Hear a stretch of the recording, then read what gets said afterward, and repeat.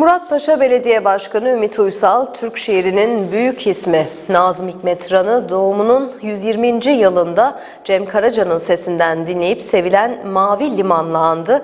Başkan Uysal hem şiirin hikayesini anlattı hem de gitarıyla seslendirdi. Türkçenin büyük şairi Nazım Hikmet doğumunun 120. yılında Muratpaşa Belediyesi'nce düzenlenen etkinliklerle anıldı. İlk etkinlik 14 Ocak gecesi Türkan Şoray Kültür Merkezi'nde gerçekleşti.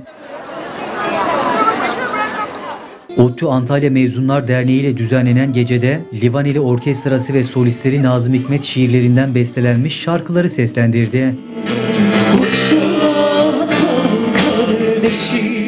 Unutulmaz eserleri seslendiren orkestraya Türkan Şoray Kültür Merkezi'ni dolduranlar hep birazdan eşlik etti. Gecenin sonunda belediye başkanı Ümit Uysal orkestraya günün anısına çiçek vermek için sahneye çıktı. Başkan Uysal sahnede Nazım Hikmet'in Çok Yorgunum Beni Bekleme Kaptan diye başlayan Mavi Liman şiirinin hikayesini anlattı. Orkestrada Mavi Liman'ı seslendirdi.